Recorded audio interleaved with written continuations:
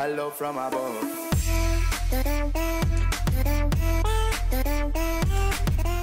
Se torne um profissional em jogos de tiro. Obtenha vantagens com o controle da Visual Controles. Links na descrição.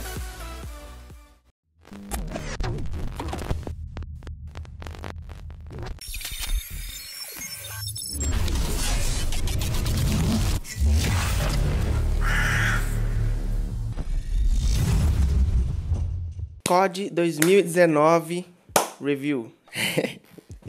Tô zoando, caralho. Galera, galera, o COD desse ano promete. Estamos tendo aí diversas mudanças positivas pra franquia, saca? Coisas que eu já cobri, coisas que vou cobrir ainda. Crossplay, a mudança da, do sistema de DLC e tudo mais, né? Por outro lado, o jogo nem lançou ainda e já tá causando polêmica. Muita.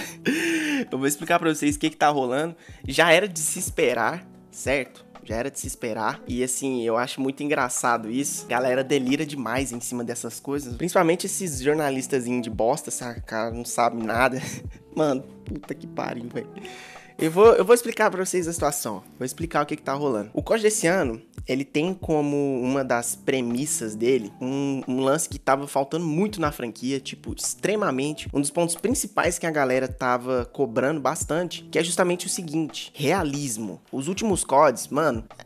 Vocês estão ligados. Vocês estão ligados. É, pulinho, mochilinha jato, arminha laser, é maluco que entra numa dimensão e sai na outra, é cachorro, é um cara que é o espadachim e sai rodando, matando. Vocês estão entendendo, né? E aí, a galera da IW finalmente, né, depois de tomar aquele pau do Infinite Warfare, parou e falou: olha, vamos fazer aqui um jogo realista, um jogo que vai retratar a guerra da forma que ela realmente é, certo? Mostrando tudo que é o, o, escroto mesmo, que é o que acontece nas guerras, entendeu? Então, assim, uma coisa que tá sendo muito forte nesse jogo, pelo que a gente viu das informações, é justamente isso: é o realismo. E desde que saiu as primeiras informações lá, é, já dava para notar que sim, vai rolar um monte de treta por causa disso, por causa da forma que eles lidaram com a campanha. E cara, eu sinceramente acho, acho isso incrível. Eu acho que tem que rolar treta mesmo, tem que fazer o jogo do jeito que quiser, não tem que vir nego falar se pode fazer isso ou não. Vários youtubers foram lá no evento, eles viram duas missões da campanha, certo? E alguns deles retrataram essas missões. E o que acontece?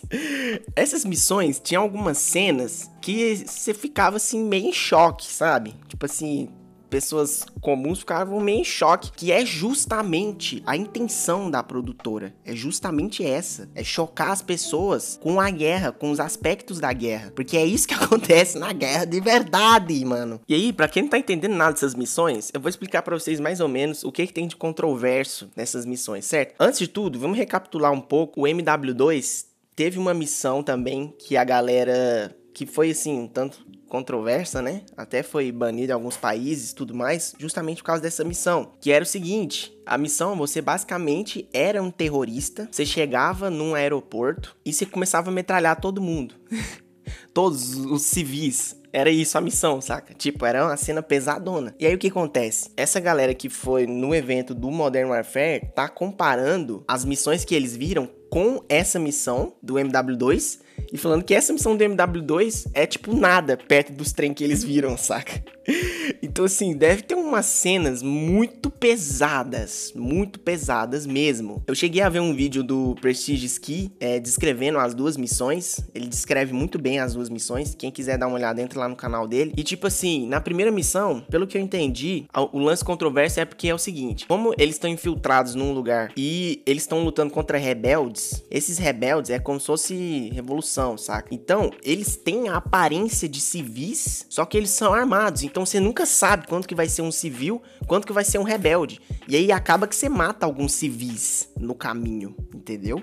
Coisa que acontece realmente na vida real. É assim que funciona. E tem uma parte que tem uma mulher com um bebê entendeu? Uma mulher com bebê. E você começa a mirar na mulher com bebê. E tipo assim, a mulher, pelo que eu entendi, ela é terrorista também. E aí você mata ela, alguma coisa assim, saca? Então a galera achou essa cena pesadíssima por causa da mulher do bebê. Você também mata várias mulheres que estão junto com os, os malucos lá, né? Os caras que você quer matar. E tipo, a mulher tá lá de boas e ela saca uma arma, saca? Daí você não tem o que fazer. Você senta o dedo na mulher, né, mano? Então assim, é, a parte controversa que eu vi da primeira missão era essa. A segunda missão já é um pouquinho mais pesada porque, tipo assim, nessa segunda missão, você joga na perspectiva de uma garotinha, certo? Você é uma garotinha no meio da guerra, e aí você tem que sair escondendo, você tem que sair, tipo assim, fugindo mesmo, saca? O seu, tem o seu pai e o seu irmão e vocês estão fugindo do, das paradas tudo, saca? E tipo assim, você pega em arma e como é uma menininha, ela não consegue segurar a arma direito, daí você começa a fuzilar os caras e a arma vai brá, e é bala para tudo que é lado. Então assim, é uma cena pesada também, você vê uma criança manuseando uma arma, matando os, os malucos lá e tal. E eu sei de uma segunda parte que começa a rolar uma arma química, um gás lá e tipo assim, simplesmente morre todo mundo, saca? E aí você sai andando no meio do gás e é corpo para tudo que é lado, assim, ó. Pá, corpo espalhado. Ah, todo mundo morto. Então, assim, pesado também, né? Eu entendo, cara. Eu entendo que não é uma coisa que você olha e fica, uh, olha que bonitinho, nossa, que agradável. Mas, cara, é justamente essa a intenção da desenvolvedora, é isso que acontece na guerra. E sim, é isso para pior, saca? A guerra é isso, a guerra é um negócio horrível, cara. E é justamente isso que eles querem passar, é justamente essa impressão, é fazer a, a pessoa sentir mal com aquilo, saca? Porque é o que o soldado sente. Você acha que o cara tá lá no meio, ele tá feliz? Você acha que ele tá de boa? Matando os caras assim, nossa, matei 35, velho, eu sou fera. Não é assim que funciona, saca? Os caras voltam, os caras ficam malucos, saca? Do tanto que o negócio é pesado. Então é completamente intencional isso, saca? Aí vem um jornalistazinho, mano, é, é a primeira das tretas essa, porque com certeza quando lançar o jogo vai ter muito mais treta, saca? Vocês podem esperar. Aí um jornalista que foi lá no, no evento, o cara ficou todo putinho, ficou todo, ai meu Deus, é muito forte para as crianças. Ai meu Deus, temos que censurar essas cenas. Tipo assim, o cara querendo jogar no lixo o trabalho dos desenvolvedores, o negócio lá tudo bem feito, tudo bonitinho, passando o que os caras querem passar, porque ai, as crianças vão jogar e vão ficar traumatizadas. Mano, primeiro que o jogo já tem uma classificação etária lá, né? Mais 18. Se tem criança jogando, a culpa é do pai, não é do desenvolvedor, não. Ninguém tem que ficar sem jogo porque pai é irresponsável, saca? Primeiro ponto. Segundo ponto, mano, olha só. Cara, esse jornalista, o cara se diz jornalista de games há 30 anos. Agora vamos analisar o QI do cara baseado num trecho de vídeo. Esse, esse é o trecho do cara tentando passar o tutorial do Cuphead. O tutorial. O cara não conseguiu passar o tutorial do Cuphead. Ele ficou tipo uma meia hora tentando pular o negócio. e ele não dava conta, velho. Mano, olha isso. Olha a doença do garoto. Qualquer criança de 3 anos consegue pular esse negócio, saca? E o.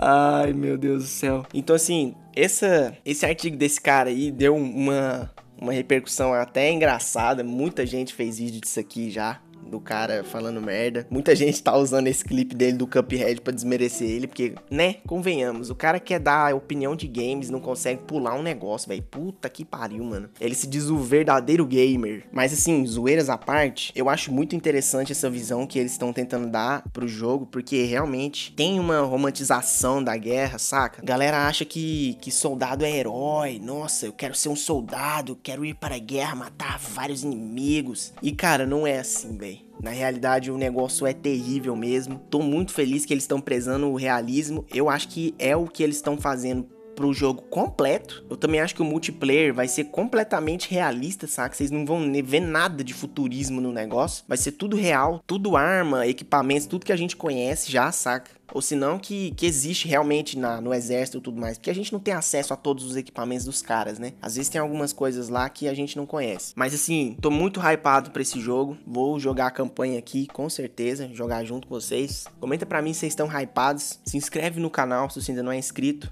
Dá like no vídeo. E é nóis, mano. Valeu, falou e fui.